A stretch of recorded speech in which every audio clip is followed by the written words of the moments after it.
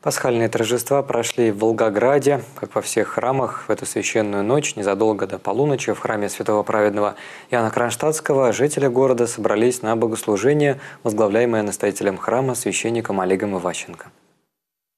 Начало праздника совершалось в малом храме, и у горожан, собравшихся на приходе в предвкушение торжества, была возможность провести ночное бдение в тишине ночи под открытым небом. На улице царило необычайное спокойствие, словно весь мир замер в ожидании торжества.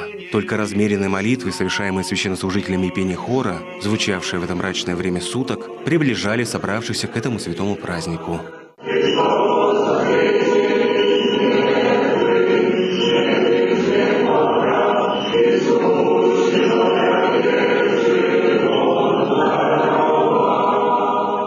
Священнослужители сменяют облачение на красное, и по всему чувствуется, что наступает самый яркий, самый долгожданный торжественный священный праздник в году.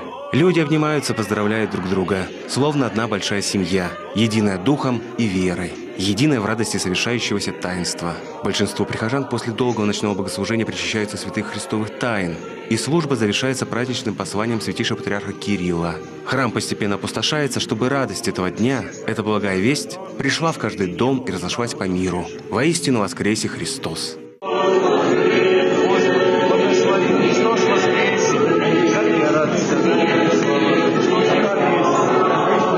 Также в день Пасхи Христовой состоялся особенный крестный ход.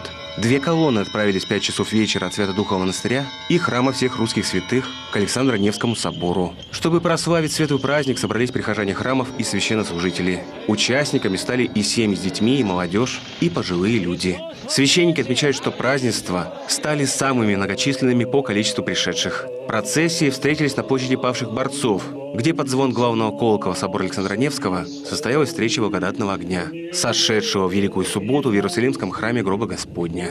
То, что мы по